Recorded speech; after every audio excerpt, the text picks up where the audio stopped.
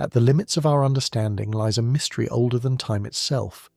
Before galaxies, before stars, before even light, there was something. Not a place, not a moment, but a state of existence where the rules of reality didn't yet apply. Space didn't have shape. Time didn't move forward. It was a void so complete we can barely describe it.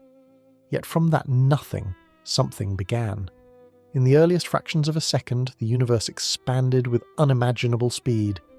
Energy, matter, and space itself unfolded from a single point, or perhaps something stranger. In 1929, Edwin Hubble discovered that galaxies are moving away from us, proving that the universe is still expanding. But why did it start? What triggered the birth of everything?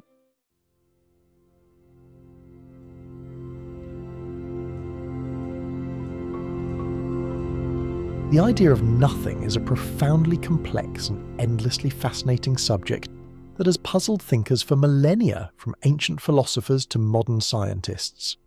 When we talk about nothing, especially in the context of the universe's beginning, or what might have existed before the Big Bang, it is crucial to understand that nothing is not a single simple concept.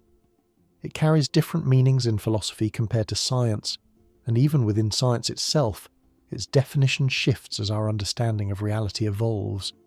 To truly grapple with the question of whether nothing existed before the Big Bang, we must first clarify what exactly we mean by that seemingly straightforward word.